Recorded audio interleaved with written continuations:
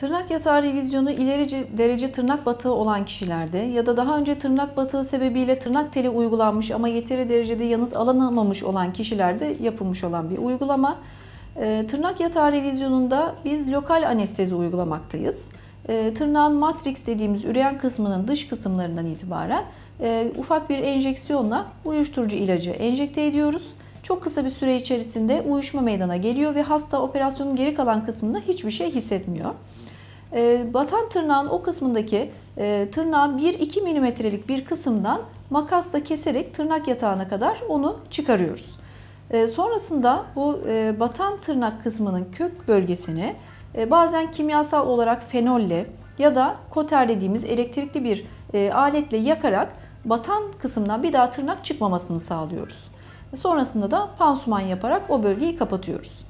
E, işlem sonrasında anesteziden dolayı e, hasta çok fazla bir ağrı hissetmiyor. Tabii ki biz önlem amacıyla ağrı kesici ya da antibiyotik tedavileri veriyoruz. Üzerine herhangi bir e, bakteriyel enfeksiyon eklenmemesi amacıyla. E, işlemden sonraki birkaç gün e, hastaya istirahat önerebiliyoruz. E, bir hafta sonrasında da hasta çok rahatlıkla normal yaşantısına geri dönebiliyor.